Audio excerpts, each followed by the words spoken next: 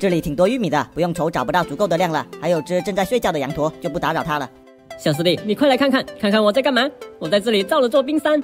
呃，造冰山？大师兄，你又在搞什么稀奇古怪的东西？我来看看这大森林里哪来的冰山。我在这从空岛流下来的水里面，已经一半都被我搞成冰块了，看能不能全给他们冻住做成冰山。大师兄，你咋做到的？好大的冰块啊！只不过一会儿就不能从这里游上去了。大黄蜂，你忘了吗？大师兄拿了羽魔假面，所以轻松就把水冻成冰块了。就是我已经找不到大师兄去哪里了。我不小心把自己困在冰山里面了，得赶紧挖出来，不然就被憋死了。你们玉米都挖了多少啦？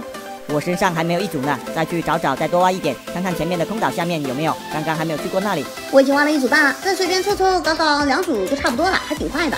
那我就懒得挖了，你们采集吧，我继续造我的大冰山。我已经收集够了，接下来就可以回空岛了。那就骑我的大恐龙，从大师兄造的冰山这里上去吧，还挺有意思的。还是有点难度的，小师弟，你别不小心掉下去了。这冰块一直在生成，我先走一步，你赶紧跟上。我上来了，大黄蜂，你上来了没？我们可以整理整理背包了。我早从另一个地方上来了，小师弟，你看看我们现在总共有多少玉米？总共差不多三组多，刚好可以做三捆玉米，然后差十一个火种就可以做生命结晶了。那么接下来就去找火种。小师弟，你看看岩石结晶还差什么材料？一会也顺便都收集了。我看看，我看看，岩石结晶还要四个曙光石块和两个蚕丝玛瑙，这些我们都没有，看来也是个大工程，又得下矿了。我们的玛瑙实在是太少了，更别说如果要打三龙的话，还要四块玛瑙块。我这里有九个玛瑙，你们那里还有几个？看看能不能先凑出二十个。我这刚好十一个玛瑙，大师兄，你把你的丢给我，我先去做两个玛瑙块。那你们先做，我拿点皮革和钛合金先做个盔甲先，然后直接出发去打黑龙。行，我再清一清背包，腾腾位置，然后工作台也记得带上。我换套乌金护甲后，咱们就可以出发了。我也来换一下护甲，提高一下防御力。这乌金要留一点，可别不小心全用光了。我这儿有个闪电核心，可惜没有万能激活石，不然就可以试试看能不能附魔一个强力的效果出来。我最后再看看，一会要用的材料都有没有带全，就怕忘带了又要跑回来。剩下的东西，接下来就可以在烈焰星直接获取了。我去下面找找有没有虚空使徒打一打，拿点创造晶体先。我也去找找有没有万能期货师，必须得附魔了，一会儿打 BOSS 才得劲儿呢。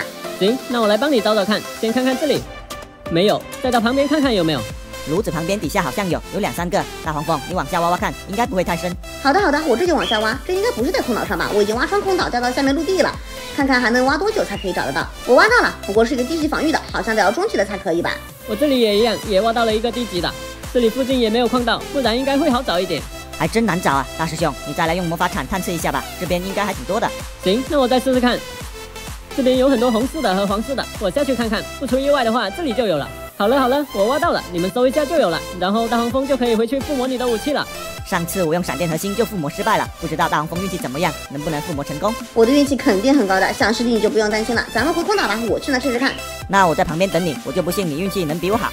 哎呀，都怪小师弟，让你不看好我啊，我这闪电核心也没有发挥作用呢。哈哈哈，很好很好，我都没成功，你怎么可能成功呢？好了，接下来就出发练心吧，去把火种和曙光石块给收了。